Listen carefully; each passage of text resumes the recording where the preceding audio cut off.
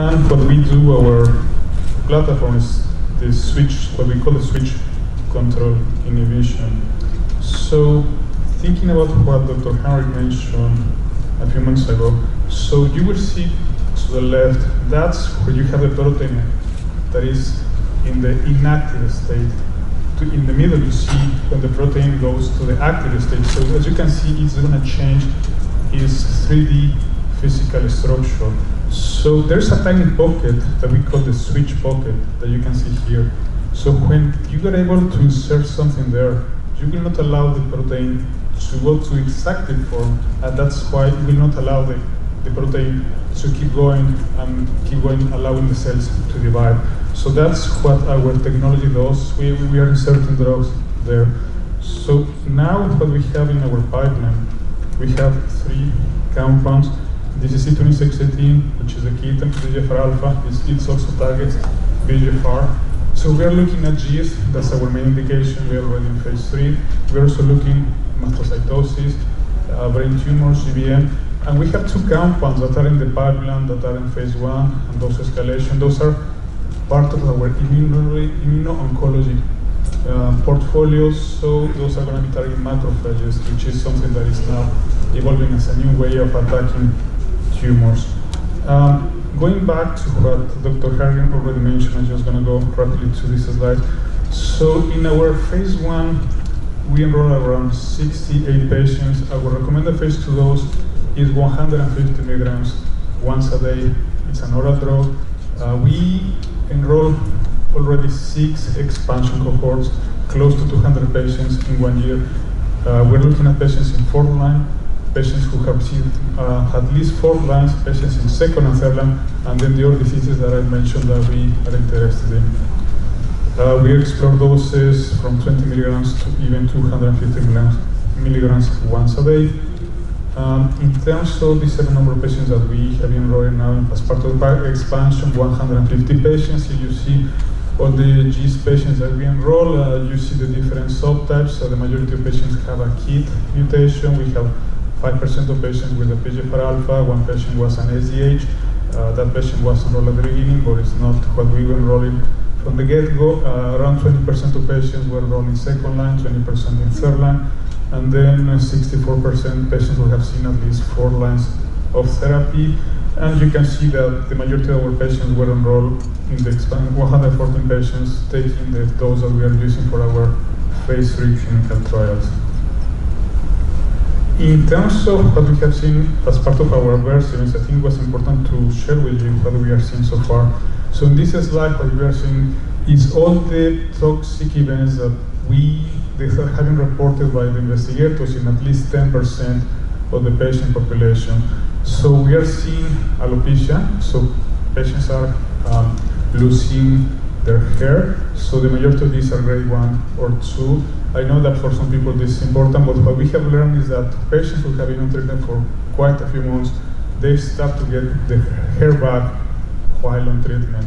So and we also what we have learned is that the texture of the hair is changing a bit. So we are seeing fatigue. I mean, this could relate or not to the study drug. Uh, the other thing that we have seen that is one of the most common is an increase in lipase. This is uh, 10, 10, for example, 20% of patients, 10% grade 1 and 2, grade 3 and 4. At the beginning, we were a bit worried because lipase usually is associated when the pancreas has an inflammation, but now we are we haven't seen cases of actually pancreatitis, so we know that this is not something that is only related to our drug or is related to other TKIs. So we're not worried, even if patients have an elevation of this uh, protein in the blood, we continue treating those patients and eventually the, the, this protein will go down. So what we believe, and this is based on conversation with the investigators, is that the drug is very well tolerated. You would like to know more about uh, our compounds, you can ask Dr. Heinrich, Dr. Trent, Dr. George tomorrow who's going to be here because they have a, a lot of experience treating patients uh, with this compound. In terms of activity, Dr. Heinrich uh, already showed something. So this is an update that we presented at ASCO this year. So you can see to the right, to the last column, this is looking at the different lines that the patient have received and the ways they are getting treatment with DCC2618. So in the second line, we're seeing a response rate of 24%. So this is quite remarkable that we are even better than the, the current approved drug. In third line, we're seeing the same. And then in fourth line, we are as good as other compounds that are there, so 9%. So at the end, we have a 15% of response rate. So meaning that the drug is as good as all of the compounds that are currently approved for treatment of patients with GIST. In terms of other ways to looking at the efficacy, this is an update of the data that Dr. Heinrich mentioned. So to the left, you can see the waterfall plot. You see all of the patients who have the decreases in the in the targets, and then here obviously in the tumors that are in between those uh, these two lines are patients who, who, are stable disease, and here you have the patients who have partial response. And uh, another way of looking at this is how the targets behave while on treatment. So you see that again, uh, this is looking at uh, weeks on treatment. We have quite a few patients who have passed the six-month bar, and then you see these solid tumors that either keep going down or they are stable for a long time, like these, uh, these lines in red. Uh, other thing that we are doing at the is that we are looking at cell-free Um, this is a couple of examples that we have. So this to the left, you can see that we're looking at patients who were treated in second line, third line, and fourth line. So each line is going to represent a patient. So for example, here this blue is a patient who was a second line, had a mutation in exon 9. But interestingly, there are quite a few patients who have, at the, uh, when we were able to detect this in the blood, mutations in different exons. So for example, here you see a patient who has, sorry, an exon 9 mutation, an exon 13 mutation, and an exon 14 mutation. And if we look at patients who are in fourth line, treated in fourth line, you see that actually there are patients who have an exon 11 here, then goes down to 13, 14, 17, and 18. So that's why we believe that for some patients, or the majority of patients that we have treated so far, you do need a, a broader KIT inhibition in order to really able to control that disease. And to the right, you see that we have seen cumulative reductions in the circulating mutation allele frequency of all the key exons 9, 11, 13, 14, 17. So it's, a, it's sort of a waterfall plot in which you see all these nice reductions. So you, here is using a log scale, and you see that its a number is minus 1, is that there was a tenfold reduction in the mutation allele frequency. Is if it's a minus 2, it's a 100-fold reduction. So in close to 80% of patients, we saw more than 50% of reduction of this um, um, mutation frequency, and 48% of patients were KIT negative on treatment with our compound. So uh, going to what we're doing as part of our phase three programs, as Dr. Howard mentioned, this is our first phase three clinical trial, it's called Invictus. This is looking at patients who have received at least three prior therapies. Uh, we have a two to one randomization we are doing the trial against placebo. Patients who are randomized usually have the opportunity to, to one to be, to be able to receive active drug. Once, uh, so we, this is a blinded study, we have a central review of the CT scan, so we have a company, a vendor, who is looking at all the CT scans, so, so the centers are sending the scans to this company, they make the evaluation and they independently they decide if the patient has progressed or is getting benefit for treatment. If the patient has a disease progression that is confirmed by the, by this central review, then the patient is unblinded and they can cross over. So if they were on placebo, they can go and get DCC 2618.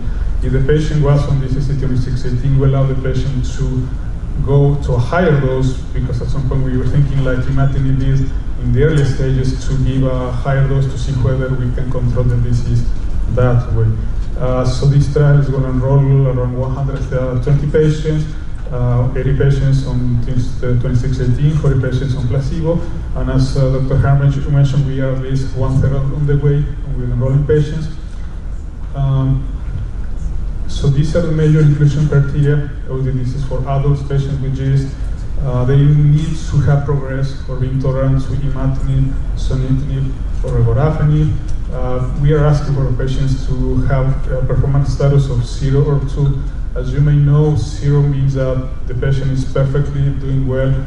As the performance status number two is that patient is less than 50% of the time on bed.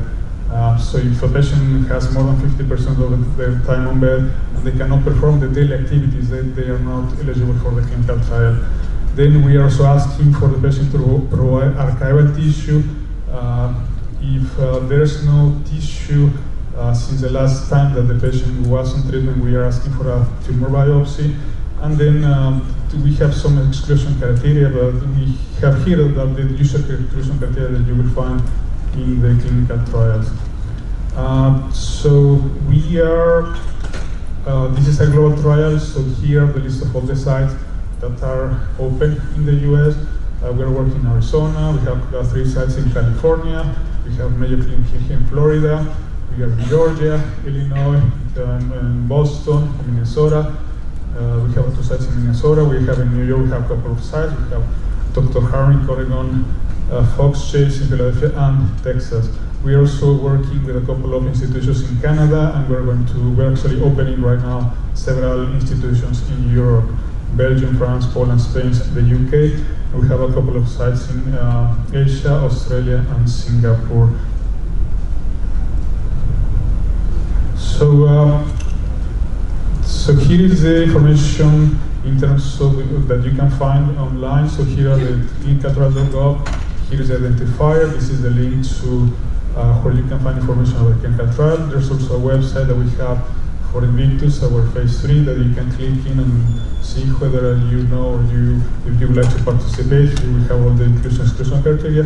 And then we have here the contact information from the team at Deciphera that will be more than happy to take your call or an email if you have questions. Obviously, we cannot give advice on treatment. We just we will uh, refer you to an institution where, where that is close to where you live. Uh, the other phase three Yes, gonna finish.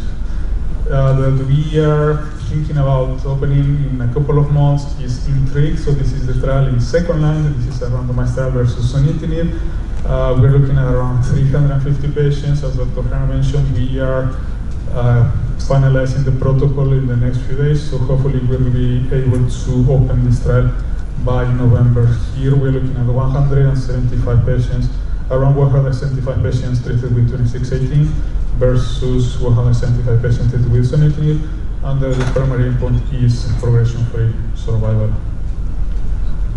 And that's it. So thank you very much. I'm more happy to take your questions. So we have another 15 minutes.